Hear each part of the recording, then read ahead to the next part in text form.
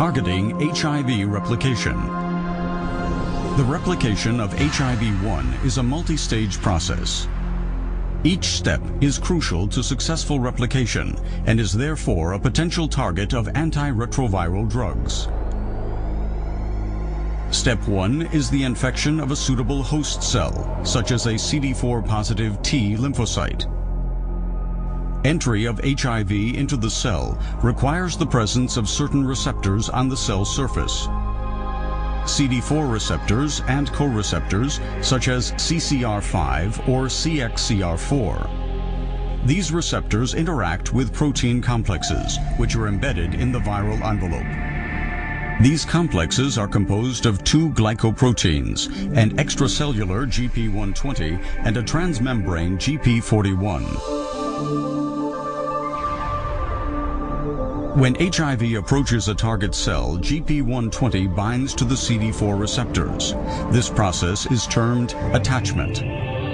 It promotes further binding to a co-receptor. Co-receptor binding results in a conformational change in GP120. This allows GP41 to unfold and insert its hydrophobic terminus into the cell membrane. GP41 then folds back on itself. This draws the virus towards the cell and facilitates the fusion of their membranes.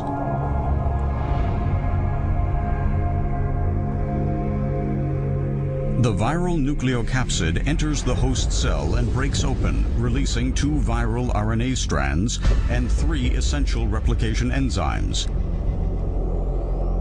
Integrase, protease, and reverse transcriptase. Reverse transcriptase begins the reverse transcription of viral RNA. It has two catalytic domains, the ribonuclease H active site and the polymerase active site. Here, single-stranded viral RNA is transcribed into an RNA-DNA double helix. Ribonuclease H breaks down the RNA. The polymerase then completes the remaining DNA strand to form a DNA double helix. Now, integrase goes into action. It cleaves a dinucleotide from each 3' end of the DNA, creating two sticky ends. Integrase then transfers the DNA into the cell nucleus and facilitates its integration into the host cell genome.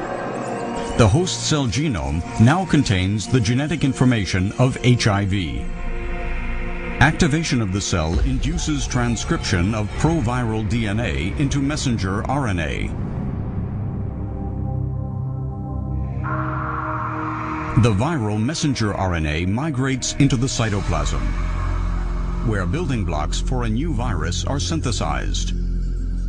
Some of them have to be processed by the viral protease. Protease cleaves longer proteins into smaller core proteins.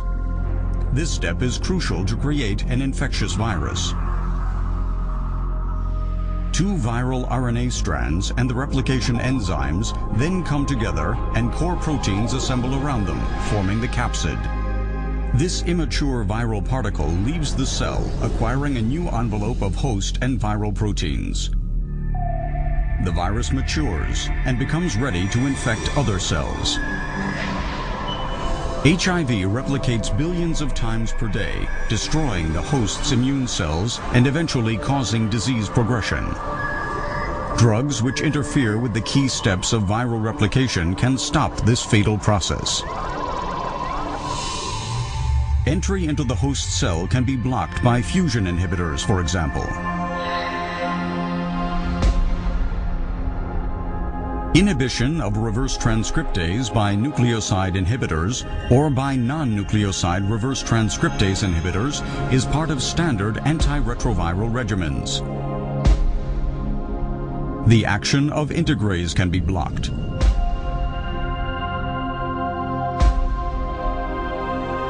Protease inhibitors are also part of standard antiretroviral therapy. Each blocked step in viral replication is a step towards better control of HIV disease.